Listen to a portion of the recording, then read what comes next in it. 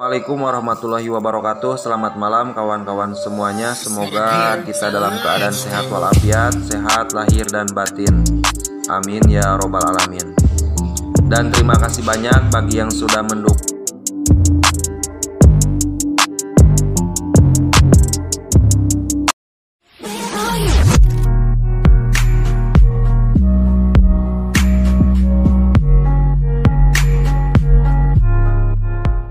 Assalamualaikum warahmatullahi wabarakatuh. Selamat malam kawan-kawan semuanya. Semoga kita dalam keadaan sehat walafiat Sehat lahir dan batin. Amin ya robbal alamin. Dan terima kasih banyak bagi yang sudah mendukung Bungsu Channel. Mudah-mudahan kebaikan kawan-kawan dibalas sama Allah subhanahu wa ta'ala. Amin ya robbal alamin. Dan jangan lupa subscribe, like, komen, dan share-nya dan untuk kesempatan kali ini saya akan membahas tentang tutorial membasmi hama patek. Dan mudah-mudahan ini bisa bermanfaat dan bisa dipresentasikan oleh para petani-petani yang ada di Indonesia termasuk yang ada di seluruh dunia. Oke kawan, mari kita simak penjelasannya.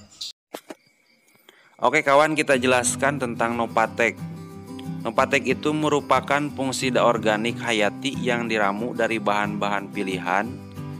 Nopatek dikombinasikan dengan jamur anti penyakit trio, trio Hoderma SP dan Giliosladium SP sehingga daya kerjanya dalam mengatasi penyakit tanaman menjadi berlipat.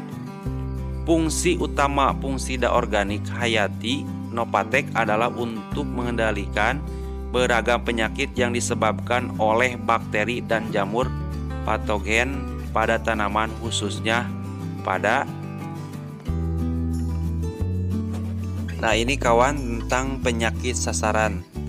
Pertama, bercak daun, yang kedua busuk buah, yang ketiga busuk batang, yang keempat rebah semai, yang kelima akar bengkak, yang kelima penyakit kresek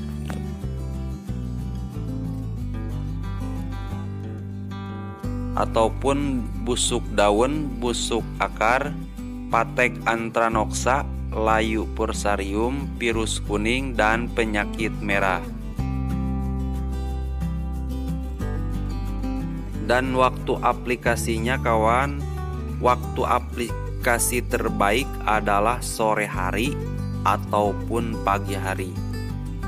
Nah, itu tentang waktu aplikasi. Yang selanjutnya yaitu aplikasi disemprotkan.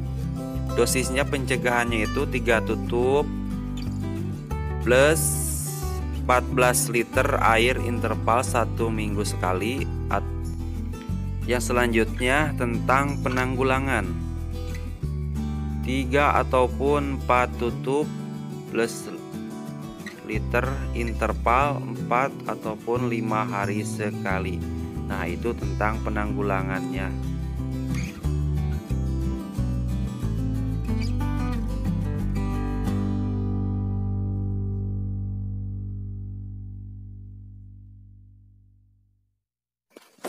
Oke kawan, mungkin ini bisa bermanfaat untuk kita semuanya dan mudah-mudahan ada hasilnya silahkan untuk mengaplikasikannya di tanaman cabai ataupun tanaman-tanaman lainnya.